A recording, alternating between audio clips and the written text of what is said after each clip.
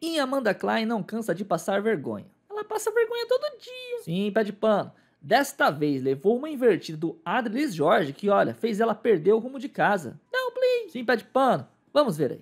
É, quando vocês falam, falam de cultura de cancelamento, eu imediatamente lembro também de um discurso de ódio, uma cultura de cancelamento que é feito não só contra personagens identificados como sendo da direita, mas também com personagens identificados como sendo da, da esquerda. E lembrando que muitas vezes esses petardos aí contra esses personagens. Quais são os personagens par, não, partem contra muitos jornalistas, muitas jornalistas mulheres. Poxa vida, Adrilis, eu sou vítima disso o tempo todo, eu sou vítima não, disso é, cotidianamente. Você é vítima de crítica, é porque... cancelamento é outra coisa. Não, não, tudo bem, é uma coisa mais pesada pesado, é, mas de críticas. O ódio, por... a não, crítica. A crítica na, na, nos debates não, não, não, não, é normal. Agora, eu, cancelamento não é, é esse o paralelo que eu estou traçando. Massacre coletivo.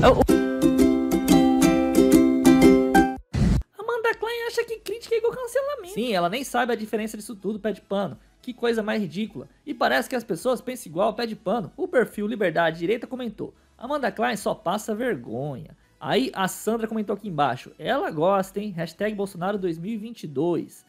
Então tá todo mundo comentando aqui, pé de pano. Até a Silvana disse: Adres, perfeito em seus comentários. Amanda ficou sem cor e desesperada por não ter argumentos. E a Lu Mendes disse: Passando vergonha novamente, Amanda? Mulher, pelo amor, você gosta, né? Tipo de passar vergonha.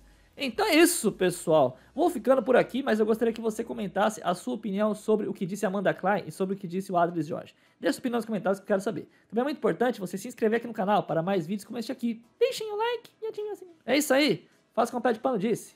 Muito obrigado. Esse ano eu vou, vou fazer campanha, vou apoiar e vou votar no Bolsonaro. Isso eu não vou admitir.